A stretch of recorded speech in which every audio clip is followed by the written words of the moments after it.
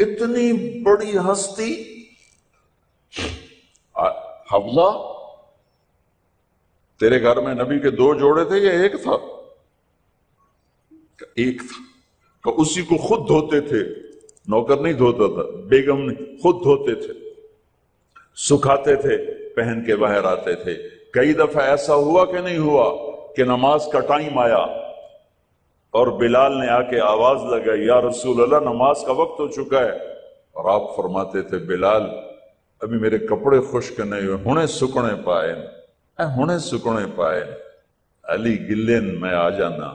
نماز لیٹ ہو جاتی تھی، کپڑے خشک نہیں ہوتے تھے۔ اور تمہیں وہ دن تو یاد ہوگا کہ ایک دفعہ جوڑا بھی نہیں تھا۔ ایک چادر ہی تھی، اسی کو گلے میں اور بدن پہ لپیٹ کے نماز پڑھائی تھی۔ اور تمہیں وہ بھی یاد ہوگا کہ ایک دفعہ چادر بھی نہیں تھی۔